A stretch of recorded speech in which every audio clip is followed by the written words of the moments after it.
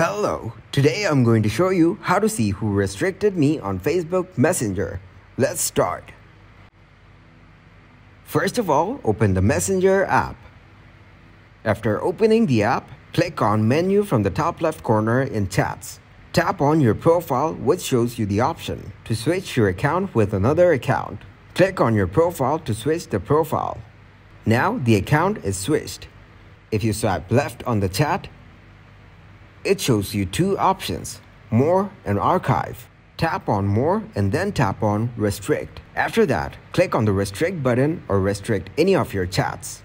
Then you see its chat is deleted. If you search its chat, open it to see who restricted that person's chat. You can use the Unrestrict option to unrestrict the chat. Switch the accounts. Press OK. If you try to send a message or call to the person who has restricted your chat, they won't attend the call or get a message from you.